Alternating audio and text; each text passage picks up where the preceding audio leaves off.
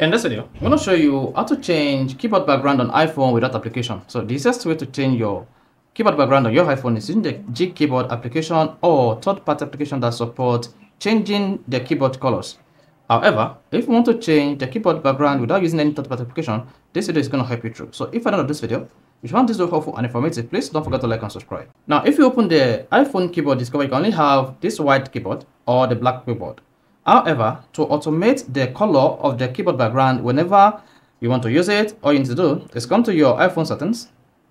On settings page, scroll down and click on display and brightness. Then make sure you turn on dark mode.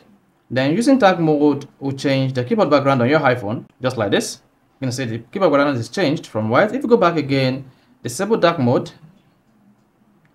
and then you should have the light mode again. Then go back to the messaging app. Then you should see the keyboard background return back to the normal. So the only way you can use to change your keyboard background without using any third-party application is to enable and disable dark mode or light mode on your iPhone. You can also automate the light mode and dark mode on your iPhone so that your keyboard will change with time or when the sun rises or when the sun sets. So this is the easiest method that you can adopt to change your iPhone keyboard background color without using any application. So if this is helpful and informative, please don't forget to like and subscribe.